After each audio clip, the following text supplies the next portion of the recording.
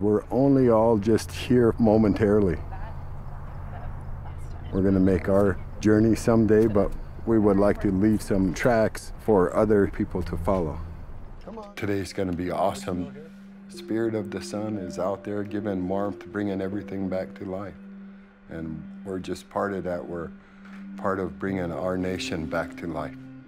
Everything followed the the life-giving force of the sun. It ties in with our culture, our ceremonies, our language, our songs, so we understand it. We're living, you know, two lives here. We live the, the Western culture as well as our own. We still have the tiospaye concept here. Family, extended family in that uh, community. Henry, what do you think your great great grandfather Red Cloud would say if he saw Pine Ridge today? Probably cry. I think he would he would cry.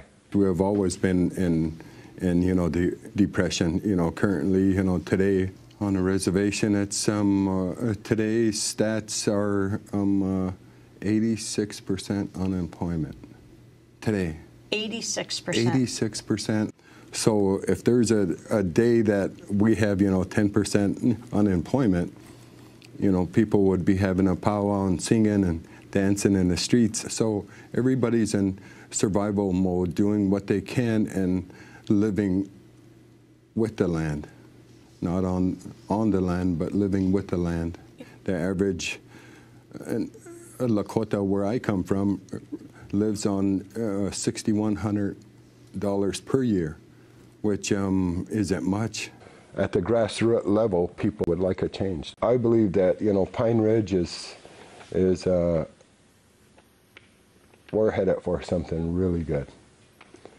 Uh, economically, uh, everything that we've been trying to do for the past 140 years, things are, are going to happen. With the gifts that we have, we can become the people that our ancestors were. Once again, becoming total, you know, balance with the universe. And uh, this is just one of the ways. We were put in the area where it's so windy and the sun shines all the time. It gets so hot and here we have over 300 days of, you know, sunlight, you know, per year. And, and the wind blows all the time. So now it's been 140 years over time we have something. It's something that we're already embracing in a real deep sense, our language, culture, and all this. Now it comes back full circle. We have a commodity. We can do something. Haukola, my name is Henry Red Cloud. I live here on the Pine Ridge Indian Reservation, home of the Oglala Lakota. We're a manufacturing facility as well as renewable energy training facility. Working with the Great Northern Plains First Nations communities, bring in jobs, much needed jobs, as well as uh, savings overall for grandma, auntie, the whole family. That's why we do home built systems and we make it more affordable. I have been doing renewables now for 15 years here on the West started out doing it just as, as a hobby, stumbled on the fact that, hey, this works. We've been doing since 2004 when we opened the doors to Lakota Solar and then we opened the doors 2006 to Red Cloud Renewable Energy Center.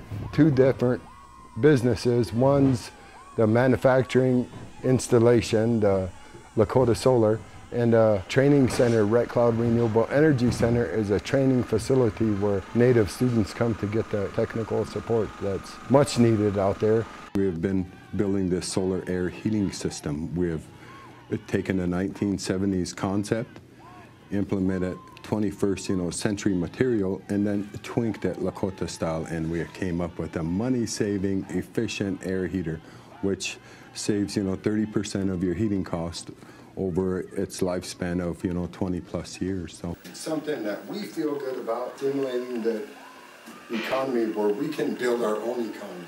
My hope, my dream, my vision is seeing First Nation communities becoming energy independent before mainstream America.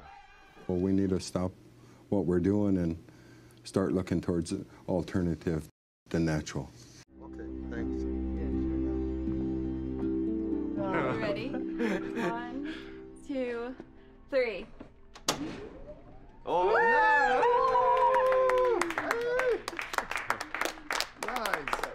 You know, I'm just lost for words. You guys could probably tell that, but you all done really good this week.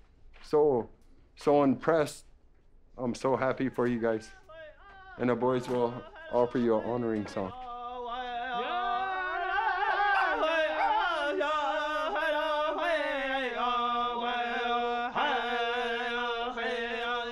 You don't take and take and take and take and take. And you don't consume and consume and consume. You take what you need and then you put back into the land.